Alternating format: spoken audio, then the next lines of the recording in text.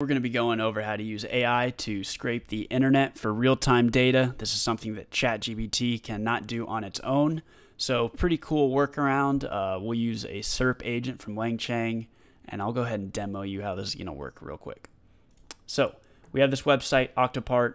It has thousands and thousands of computer parts that I don't know a whole lot about, and it has information about each one and let's see if we can't get our SERP agent to return us some data about it.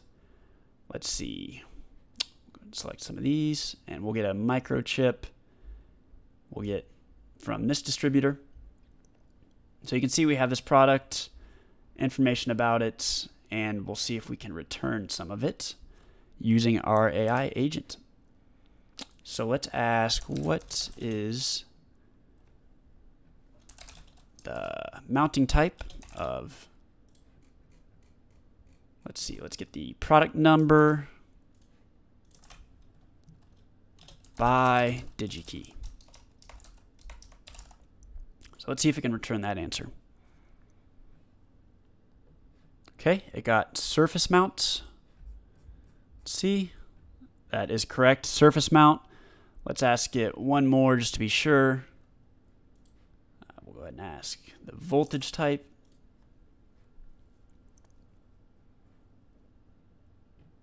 And it got 2.7 to 5.5, and it is 2.7 to 5.5.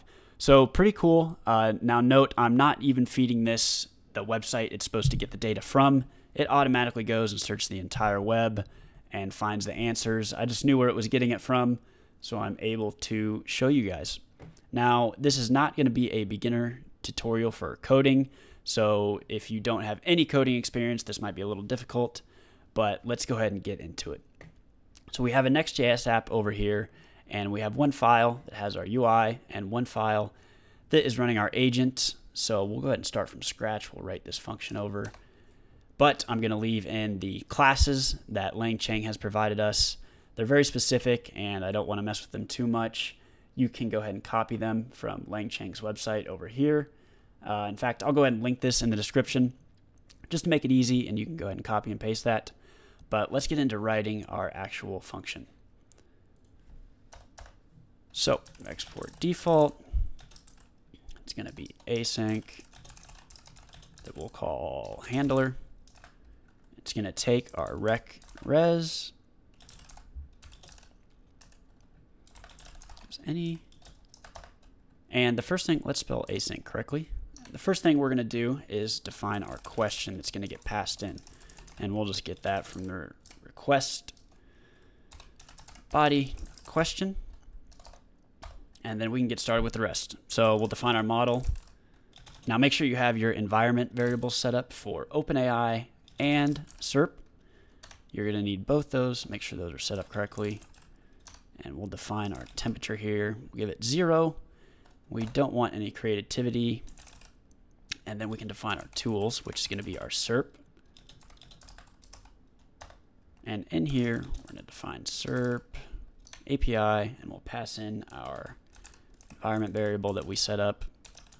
I think I called mine SERP API underscore API underscore key. Now that's going to want to take in a location, a language, and geographical location. So we'll go ahead and do that. Put in Austin, Texas, United States, and a language, English, and geographical location of U.S. And that should be our tool set up correctly. So now we can get into our actual chain. So we'll do new LLM chain. And then we'll pass it our prompt, which we're going to get new custom prompt template. Nope. Prompt template like this. And it's going to take in our tool or tools. You can have multiple. And we'll pass in input variables, which are going to be our input and agent scratchpad. So input and agent scratchpad. Like so. And then after that, give it a comma here and we'll define our model like so. And then our chain is set up. Now we can go ahead and create our agent. So we'll do const agent equals new. Oh, single action agent. And this will take in the chain that we just made, as well as an output parser from new custom. Now these are these custom classes we were talking about earlier, which I would not dive too deep into. Stop, and then we'll observation, backslash, and observation. Backslash, and observation. After we have the agent set up, we can get our executioner going executioner.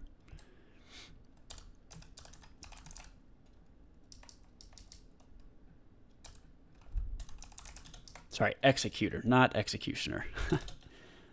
New agent, executor. And this will take in our agents as well as our tools.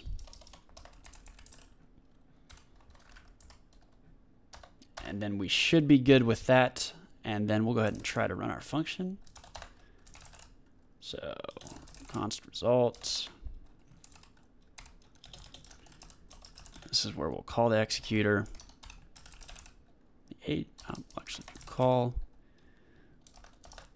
And this is where it'll take in that question from our front end.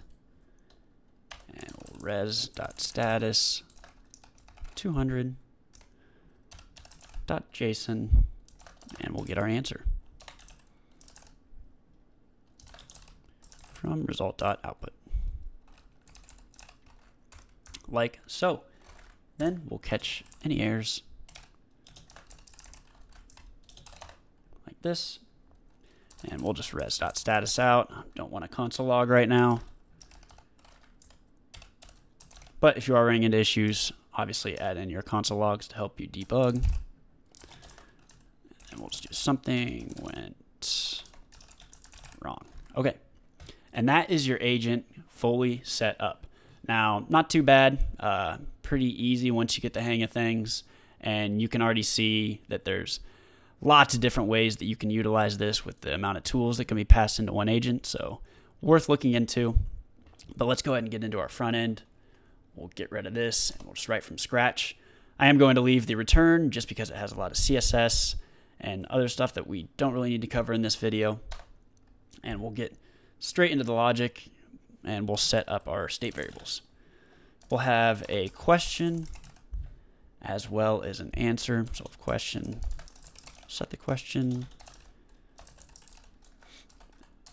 to string. Same for our answer.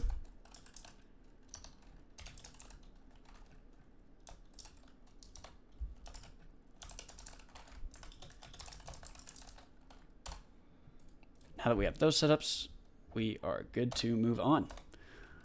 Set up our function that's going to handle the request. So we'll call it ask question. It's going to be async.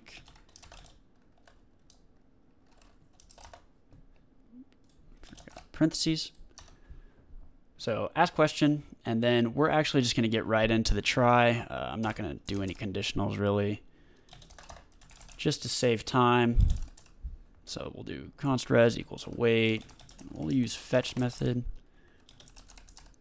to reach our API. Ours is called SERP agent. Yours might be something different. It's whatever this file is called. Uh, so just be sure that that's correct or you run into problems. And then we'll pass in our parameters. Start with the method as post. Then we'll pass in our headers, which are going to be content type of application JSON. And then we'll pass in our body, which is going to be JSON.stringify. And whatever the question we get is, sorry, question. Okay. Now I'm going to, again, skip conditional. This is my, where you want to set another conditional just to check if everything's working correctly. We're going to skip over that and just do our res. Oh, res dot JSON equals res dot JSON. This should actually be within our try catch. Let's move that up. So we have that, and then this is where we'll set our answer.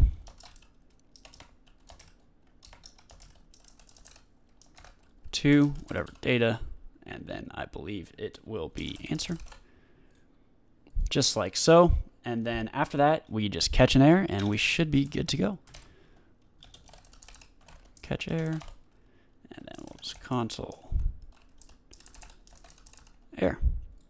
And that is it. And we are all set up to run our SERP. Let's go ahead and give it a quick test again. Let's see. Well, let's just see if it can keep getting the same result after we've changed all the code.